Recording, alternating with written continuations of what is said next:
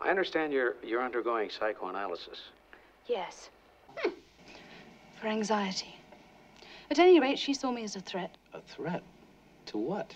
To whom? She has this insatiable lust for power. Hmm.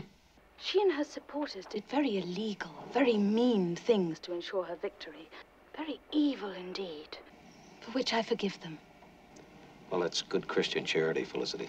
And there's not the slightest doubt in my mind, Mr. Douglas, that there are eavesdropping devices. You mean bugs? Yes, planted throughout the convent.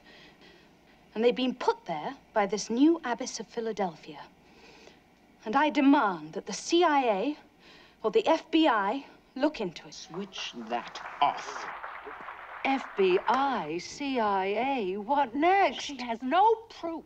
Someone has leaked that to Well, the who would leak it? A leaky Jesuit, the idiot Thomas, I suppose, still tumbling Felicity.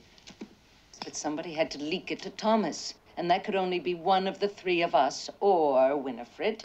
I suggest it was Winifred. That klutz! She's been talking. Why? Why would she do that? Why, indeed.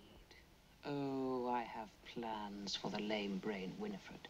She was certainly instructed that our electronics was part of our lab equipment for the training of our nuns to meet the challenge of modern times. Now, dear Hildegard, may she rest in peace, was out of her mind to admit Winifred as a postulant, much less admit her to the veil. Be that as it may, Winifred is in it up to the neck, and the scandal stops at Winifred.